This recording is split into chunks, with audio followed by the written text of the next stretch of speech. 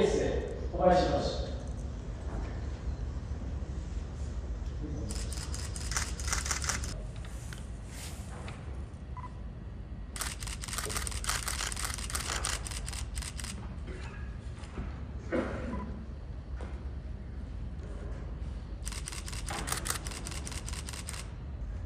努力賞皇務巡査鈴木春君は本校主任課の Toyota dele.